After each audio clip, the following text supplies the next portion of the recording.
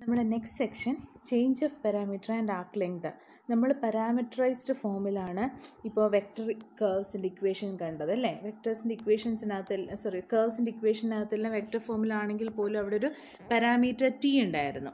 അപ്പോൾ ആ പാരാമീറ്റർ ടിയെ മാറ്റുന്നതും പിന്നെ ആർക്ക് ലെങ്ത് ആർക്ക് ലെങ്ത് കണ്ടുപിടിക്കുന്നതും. അതായത് കേർവ് അല്ലേ നമ്മൾ കണ്ടുകൊണ്ടിരിക്കുന്നത് അപ്പോൾ ആ കേർവിന്റെ length കണ്ടുപിടിക്കുന്നതുമൊക്കെയാണ് in terms of parameter in terms of vectors നമ്മൾ ചെയ്യാൻ പോണത്.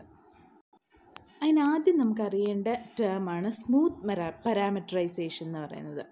സ്മൂത്ത്ലി പാരാമെട്രൈസ്ഡ് കേർവ് ആണ് ആർ ഓഫ് ടി എന്ന് പറഞ്ഞു കഴിഞ്ഞാൽ ആർ ഡാഷ് ടി നമ്മൾ ആർ ഓഫ് ടി ഉണ്ടെങ്കിൽ നമുക്ക് ആർ ഡാഷ് ടി കണ്ടുപിടിക്കാൻ അറിയാം. ആർ ഡാഷ് ടി നമുക്ക് കിട്ടുന്നത് ഒരു കണ്ടിന്യൂസ് ഫങ്ഷൻ ആയിരിക്കും. ഒപ്പം ആർ ഡാഷ് ടി എന്ന് പറയുന്നത് നോൺ സീറോയും ആയിരിക്കും നമ്മളിപ്പം ടിയുടെ ഒരു പെർട്ടിക്കുലർ വാല്യൂ മുതൽ ഒരു പെർട്ടിക്കുലർ വാല്യൂ വരെ ഇപ്പോൾ എ മുതൽ T equal to A to T equal to B ആണ് നമ്മുടെ കേർവ് നമ്മൾ കൺസിഡർ ചെയ്യുന്നതെങ്കിൽ ആ ടി ഈക്വൽ ടു എ മുതൽ ടി ഈക്വൽ ടു ബി വരെയുള്ള ഏത് ടി വാല്യൂ എടുത്താലും ആർ ആർ ഡാഷ് ടി എന്ന് പറയുന്നത് നോൺ സീറോയും ആയിരിക്കണം കണ്ടിന്യൂസും ആയിരിക്കണം അങ്ങനെയാണെങ്കിൽ നമ്മൾ ആ പാരാമീറ്ററൈസ്ഡ് കേർവിനെ സ്മൂത്ത്ലി പാരാമീറ്ററൈസ്ഡ് കേർവ് എന്ന് പറയും. അല്ലെങ്കിൽ ആർ ഓഫ് ടി ഒരു സ്മൂത്ത് ഫങ്ഷൻ ഓഫ് ടി എന്ന് പറയും. നമുക്ക് ടെക്സ്റ്റിൽ ഒരു എക്സാമ്പിൾ ഉണ്ട്. ഒരു കർവ് തന്നിട്ട് അത് ഒരു സ്മൂത്ത് വെക്റ്റർ വാല്യൂഡ് ഫംഗ്ഷൻ ആണോ എന്ന് ചെക്ക് ചെയ്യാനുള്ളത്. ചെക്ക് ചെയ്യാനായിട്ട് നമ്മൾ എന്താ ചെയ്യേണ്ടതെന്ന് വെച്ചാൽ ആദ്യം ചെയ്യേണ്ടത് ആർ ഡാഷ് ടി കണ്ടുപിടിക്കണം. കമ്പോണന്റ് ഫംഗ്ഷൻസ് കണ്ടിന്യൂസ് ആണെങ്കിൽ ആർ ഡാഷ് ടിയും കണ്ടിന്യൂസ് ആയിരിക്കും. അപ്പോൾ നമ്മൾ ആർ ഓഫ് ടി തന്നിട്ടുണ്ട്. അതിന്റെ ഡെറിവേറ്റീവായ ആർ ഡാഷ് ടി കണ്ടുപിടിക്കുന്നതാണ് നമ്മുടെ ആദ്യത്തെ ടാസ്ക് അത് കണ്ടുപിടിച്ചിട്ട് ഓരോ കമ്പോണൻസും എന്താണെന്ന് നോക്കുക. ഓരോ കമ്പോണൻസും സ്മൂത്ത് ഫങ്ഷൻസ് ആണെങ്കിൽ ഇപ്പോൾ ഇവിടെ നമുക്ക് കിട്ടിയിരിക്കുന്നത് സൈൻ ടി കോസ് ടി പിന്നെ ഒരു കോൺസ്റ്റന്റ് വേണം. കോൺസ്റ്റന്റ് ഇന്റു സൈൻ ടി എന്ന് പറയുന്നത് സൈൻ ടി ഫംഗ്ഷൻ പോലെ തന്നെയാണ്. അപ്പം സൈൻ ഒരു കണ്ടിന്യൂസ് ഫംഗ്ഷൻ ആണെന്ന് നമുക്കറിയാം. കോസ് ഒരു കണ്ടിന്യൂസ് ഫംഗ്ഷൻ ആണ്. Constant functions are always continuous അപ്പോൾ ഇതൊരു കണ്ടിന്യൂസ് ഫംഗ്ഷൻ ആണ് ആർ ഡാഷ് ടി ഓക്കെ അപ്പോൾ ഇനി നമുക്ക് അറിയേണ്ടത് R dash T equal to zero ആകുമോ എന്നാണ് ഈ സി ഇന്റു കെ എന്ന് പറയുമ്പോഴേ അറിയാം C not equal to zero ആണെങ്കിൽ ആർ ഡാഷ് ടി സീറോ ആവത്തില്ല. നമുക്ക് ആദ്യമേ തന്നെ കണ്ടീഷൻ തന്നിട്ടുണ്ട്. C is greater than zero എന്ന്. ഓക്കെ അപ്പോൾ സി ഗ്രേറ്റർ ദാൻ സീറോ ആയതുകൊണ്ട്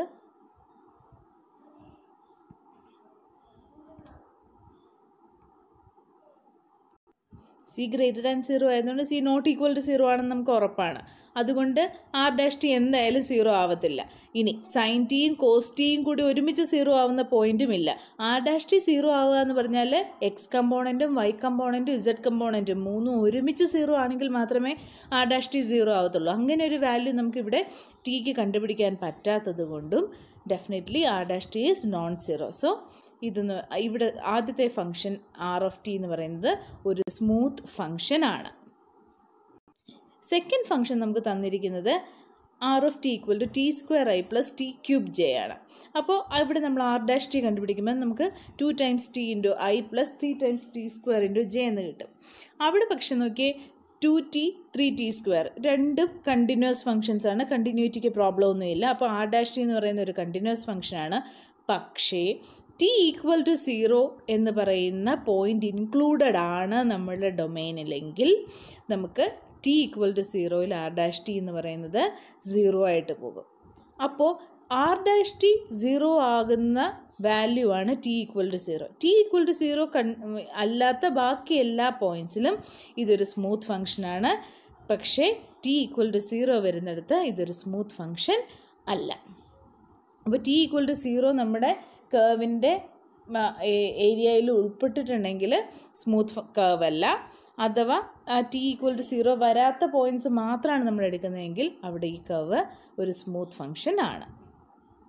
നമുക്കൊരു കേവ് തന്നിട്ടുണ്ടെങ്കിൽ അതിന്റെ ആക്ക് ലെങ്ത് കണ്ടുപിടിക്കാനുള്ള ഫോമുല നേരത്തെ തന്നെ അറിയാം. നമ്മളത് പഠിച്ചിരിക്കുന്നത് L is equal to integral A to B root of D X by D T the whole square plus D Y by D T the whole square plus D Z by D T the whole square D T എന്ന് പറഞ്ഞിട്ട് ഇതിനെ നമ്മൾ vector view പോയിന്റിൽ വെക്റ്ററിന്റെ ടേംസിലുള്ള കേവാണ് നമുക്ക് തന്നിരിക്കുന്നതെങ്കിൽ. അപ്പോൾ നമ്മൾ എങ്ങനെ ആർക്ക് ലെങ്ത് കണ്ടുപിടിക്കും വെക്ടറിന്റെ ടേംസിൽ എങ്ങനെ ആർക്ക് ലെങ്ത് കണ്ടുപിടിക്കും? അതാണ് നമ്മളിനി ചെയ്യാൻ നമ്മൾ ഒരു വെക്ടറിന്റെ ഇക്വേഷൻ സാധാരണ എഴുതുന്നത് R of T equal to X T into I plus Y T into J plus Z T into K എന്ന് പറഞ്ഞിട്ട് അല്ലേ? അങ്ങനെയാണെങ്കിൽ നമുക്ക് D R by D T കണ്ടുപിടിക്കാം. D R by D T എന്ന് പറയുന്നത് D X by D T into I plus D Y by D T into J plus D Z by D T into K two സ്പേസിലെ case ഞാൻ അധികം പറയാത്തത് ഒരു Z കുറവല്ലേ? നമുക്ക് ഈ കേസിൽ കാണാം. അങ്ങനെയാണെങ്കിൽ നമുക്ക് മോ നോം of D R by D T കണ്ടുപിടിച്ച് നോക്കാം. നോം of D R by D T എന്താ കിട്ടുന്നത് it is equal to root of D X by D T the whole square plus D Y by D T the whole square plus D Z by D T the whole square തൊട്ട് മുമ്പ് നമ്മൾ പറഞ്ഞ ഇന്റഗ്രലിന്റെ ഉള്ളിലുള്ള integrand ഇതായിരുന്നില്ലേ? So നമ്മൾ വെക്ടറിന്റെ ടേംസിൽ പറഞ്ഞാൽ root of D X by D T the whole square plus D Y by D T the whole square plus D Z by D T the whole square എന്ന് പറയുന്നത് it is nothing but the Noam of the vector derivative of R R എന്ന് പറയുന്ന വെക്ടറിന്റെ ഡെറിവേറ്റീവിന്റെ നോമാണ് ഈ integrand so in terms of vectors the arc length thus L is equal to integral A to B Noam of D R by D T into D T arc length കണ്ടുപിടിക്കാനുള്ള ഒരു പ്രോബ്ലമാണ് നമുക്ക് അടുത്തതുള്ളത്. നമുക്ക് തന്നിരിക്കുന്ന കർവ് എന്ന് പറയുന്നത് X is equal to cos T Y equal to sine T Z equal to T. അപ്പോൾ R എന്ന് പറയുന്നത് cos T I plus sine T J plus T K. അതിന്റെ ഡെറിവേറ്റീവ് നമ്മൾ കണ്ടുപിടിക്കണം. ചെയ്യുന്നതൊക്കെ ഒരേ മാതിരി അപ്പോൾ നമ്മൾ മറ്റേ രീതിയിൽ ചെയ്താലും ഇങ്ങനെ ചെയ്താലും ഒക്കെ കിട്ടുന്ന ആൻസർ ഒന്ന് തന്നെയാണ്. അപ്പോൾ നിങ്ങൾക്ക് എങ്ങനെ വേണമെങ്കിലും ചെയ്യാം. പിന്നെ വെക്ടറിന്റെ ടേംസിൽ നമ്മൾ പഠിക്കുന്നത് കൊണ്ട് ആ രീതിയിൽ ചെയ്ത് നോക്കുന്നു എന്നേ ഉള്ളൂ.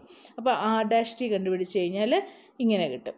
അപ്പോൾ നമുക്ക് മറ്റേതാണെങ്കിൽ നമ്മൾ ചെയ്യുന്നത് നേരിട്ട് root of whole square plus D Y by D T the whole square plus D Z by D T the whole square കണ്ടുപിടിച്ചിട്ട് ഇതിനകത്ത് ഇട്ട് കൊടുക്കുന്നത്. ഇവിടെ അതേ സാധനം തന്നെ കണ്ടുപിടിക്കുന്നു. പക്ഷെ നമ്മളതിനെ നോം ഓഫ് ആർ ഡാഷ് ടി എന്ന് വിളിക്കുന്നു. അത്രയേ ഉള്ളൂ. അപ്പോൾ നമുക്ക് ഇവിടെ നമുക്ക് നോം ഓഫ് ആർ ഡാഷ് ടി എന്ന് പറയുന്നത് ആർ ഡാഷ് ടി ഇങ്ങനെ കിട്ടും. നോം ഓഫ് ആർ ഡാഷ് ടി അപ്പോൾ root of sine T the whole square cos T the whole square plus one എന്ന് കിട്ടും വിച്ച് ഇസ് റൂട്ട് ടു അപ്പോൾ ആർക്ക് ലെങ്ത് എന്ന് പറയുന്നത് നമ്മളത് സബ്സ്റ്റിറ്റ്യൂട്ട് ചെയ്യുമ്പോൾ L is equal to Noam of integral of നോം എന്ന് പറഞ്ഞ് കിട്ടും. That is integral zero to pi root two D T which is root two pi നമ്മൾ പരാമീറ്റർ കേവ്സ് കണ്ടു. എക്സ് ആക്സസും വൈ ആക്സസും ഉണ്ട്. അവിടെ ഒരു കേവ് ഉണ്ട്. അവിടെ നമ്മൾ കുറേ ഓരോരോ പോയിന്റ്സ് കൺസിഡർ ചെയ്തു. ആ പോയിന്റ്സിന്റെ എക്സ് കോർഡിനേറ്റും വൈ കോർഡിനേറ്റും നമ്മളിപ്പോൾ ടു സ്പേസിലുള്ള കേവാണ് വരച്ചിരിക്കുന്നത്. അപ്പോൾ എക്സ് കോർഡിനേറ്റും വൈ കോർഡിനേറ്റും മാത്രമേ ഉള്ളൂ. അപ്പോൾ നമ്മൾ ആ എക്സ് കോർഡിനേറ്റും വൈ കോർഡിനേറ്റും ഒരു പാരാമീറ്റർ ടിയുടെ ഫംഗ്ഷനായിട്ട് കിടക്കുകയാണെങ്കിൽ എക്സും വൈയും ഈ ടിയുടെ ഫംഗ്ഷനായിട്ട് കിടക്കുകയാണെങ്കിൽ നമ്മൾ ആ vector കർവിനെ in terms of vector R of T എന്ന് എഴുതും. അപ്പം ആറ് ടി എന്ന് പറയുന്ന പാരാമീറ്ററുള്ള ഒരു ഫംഗ്ഷനായിട്ട് നമ്മൾ കൺസിഡർ ചെയ്തു. ഇവിടെ നമ്മൾ സാധാരണ ഗതിയിൽ ടി എന്ന് പറയുന്നത് ടൈമായിട്ടാണ് എടുക്കുന്നത്. ടൈം പാരാമീറ്റർ എപ്പോഴും ടി ഈക്വൽ ടു സീറോയിൽ സ്റ്റാർട്ട് ചെയ്യും. അപ്പോൾ ടി ഈക്വൽ ടു സീറോയിൽ നമ്മുടെ ഇനീഷ്യൽ പോയിന്റ് ആയിരിക്കും. പിന്നെ ടി കൂടുന്നതിനനുസരിച്ച് ഈ ഒരു ഇപ്പോൾ ഒരു വണ്ടി ടി ടി ഈക്വൽ ടു സീറോയിൽ നമ്മുടെ ഫസ്റ്റ് പോയിന്റിലായിരുന്നു എന്ന് വിചാരിച്ചോ. അപ്പോൾ അവിടെ നിന്ന് നമ്മൾ അടുത്ത ടി ഈക്വൽ ടു വൺ ആകുമ്പോൾ സെക്കൻഡ് പോയിന്റിലെത്തി ടി ഈക്വൽ ടു ടു ആകുമ്പോൾ തേർഡ് പോയിന്റിലെത്തി ടി ഈക്വൽ ടു ത്രീ ആകുമ്പോൾ ഫോർത്ത് പോയിന്റിലെത്തി അങ്ങനെ നമ്മൾ ഇങ്ങനെ മുന്നോട്ട് പോകുന്നു.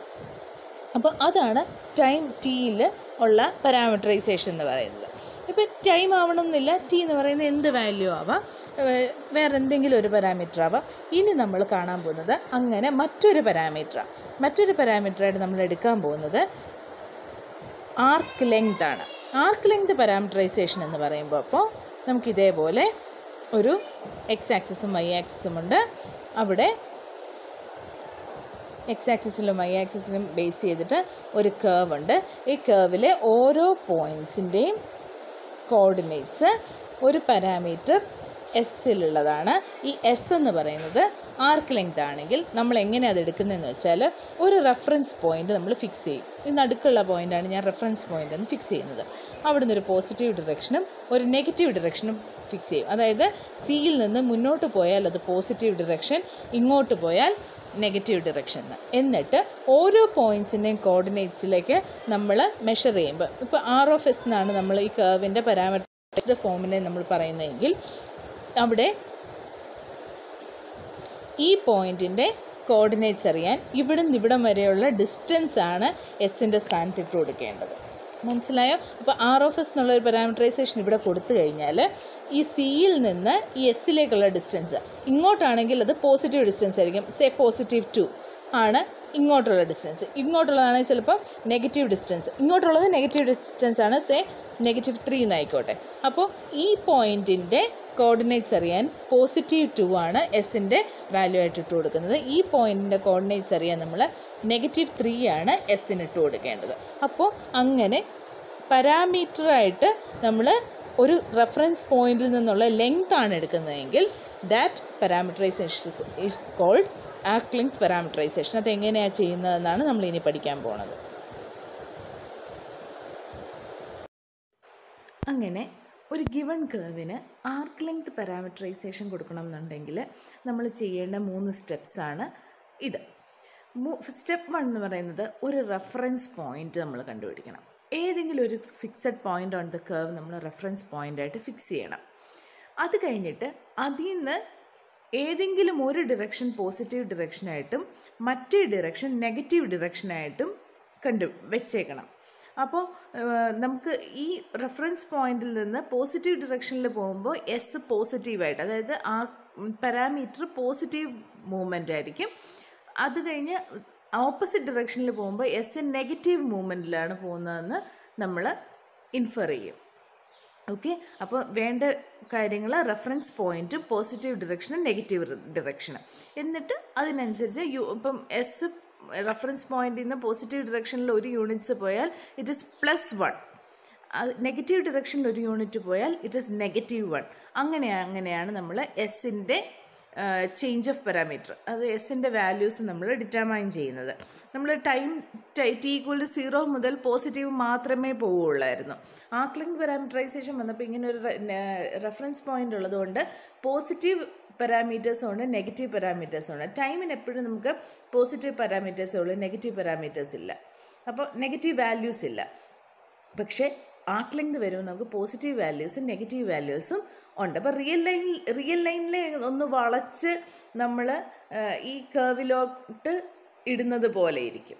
സീറോ റെഫറൻസ് പോയിന്റിൽ വന്നിട്ട് ഇങ്ങനെ റിയൽ ലൈനിനെ വര വളച്ച് ഈ കേവിലേക്ക് ഫിറ്റ് ചെയ്യുന്ന പോലെ ഇരിക്കും നമ്മുടെ ഈ ആക്ലിൻ പാരാമീറ്ററൈസേഷൻ കൊടുത്തു കഴിയുമ്പോൾ ഉള്ള രൂപം.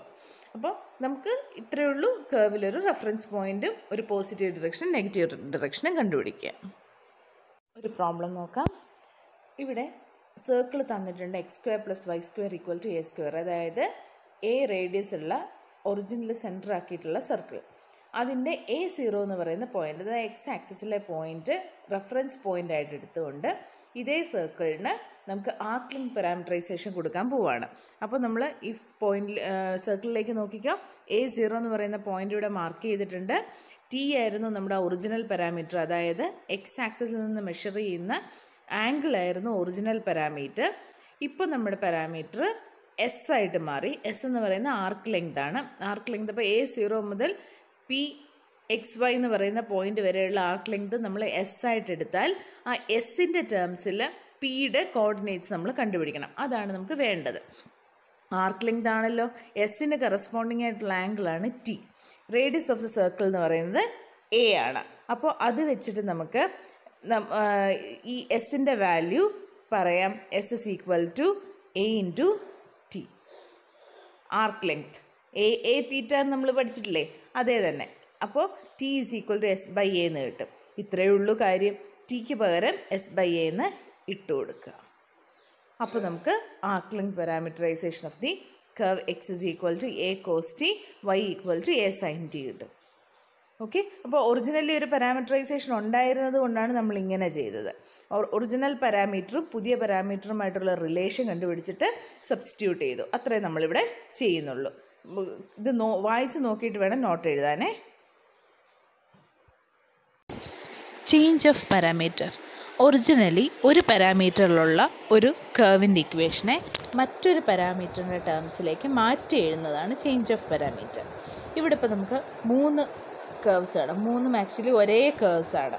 ആദ്യത്തെ കേർവിൽ ടി ആണ് പാരാമീറ്റർ അവിടെ നമുക്ക് ടൈം ആണ് പാരാമീറ്റർ രണ്ടാമത്തെ കേർവിലെത്തിയപ്പോൾ ആ ആർക്ക് ലെങ്ത് ആക്കി പാരാമീറ്റർ മൂന്നാമത്തെ ടേമിൽ കേവിലെത്തിയപ്പോൾ എക്സ് ആക്സസുമായിട്ട് പാരലായിട്ടൊരു ലൈൻ എടുത്തിട്ട് അതുമായിട്ട് ടാൻജന്റ് ഉണ്ടാക്കുന്ന ആംഗിൾ അതിനെ പാരാമീറ്ററായിട്ട് ഫിക്സ് ചെയ്തു. അപ്പോൾ ഇവിടെ ഒരേ കർവിനെ മൂന്ന് രീതിയിൽ പാരാമീറ്ററൈസ് ചെയ്ത് വെച്ചിരിക്കുക മൂന്ന് കർവിൽ മൂന്ന് പാരാമീറ്റേഴ്സാണ് നമ്മൾ യൂസ് ചെയ്യുന്നത്.